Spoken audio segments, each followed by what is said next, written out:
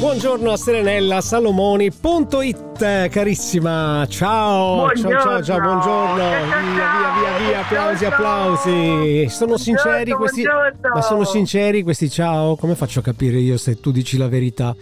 Eh? Come Ma faccio a capire? che quegli applausi che metti tu sono sinceri? No, sono, sono- sono finti. sono finti. Sono finti.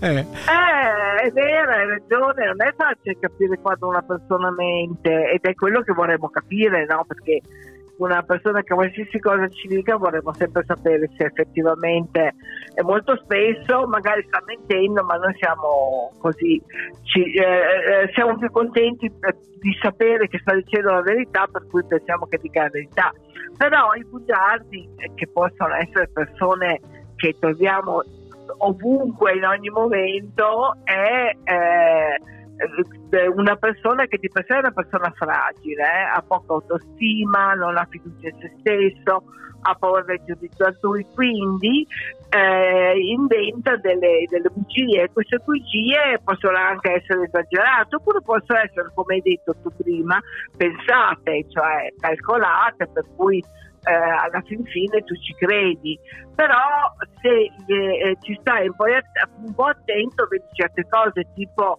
ad esempio quando ti sorridono hanno sempre gli occhi fissi, non sorridono con gli occhi, sorridono solo con la bocca e poi non sanno instaurare un vero legame affettivo, non sono empatici. Poi se, se fanno un discorso e tu cerchi di andare nei particolari, non, eh, cercano sempre di deviare, quindi eh, no, gesticolano molto, no? perché sai come fanno, eh, que- come fanno le persone che stanno sul palco, i maghi, eh, muovono molto le mani no? in maniera che ti distraggono e quindi tu pensi ad altro, non stai attento, ecco. E poi pensano sempre di avere ragione, sono sempre quelli che dicono questa, questa è la cosa giusta, questa è la cosa esatta, sono molto manipolatori, ecco, quindi bisogna cercare di difendersi da queste persone perché sono false, sono manipolatori, sono eh, forse possiamo, vengono poi alla fin fine classificati, classificati come narcisisti, ecco, Sì. perché non hanno eh, sono molto egocentrici, ecco, hanno una maschera che continuano a mantenere sempre. Sì, però allora eh, a questo punto dovremmo rivedere un po' tutta la popolazione, perché io di persone così ne conosco Quelli che ci tantissime. interessano, ah, sì, bravo, conosco eh, tantissime però persone così. sarà- Però qualcuno dirà eh, pur la sarà verità. quella che- Eh.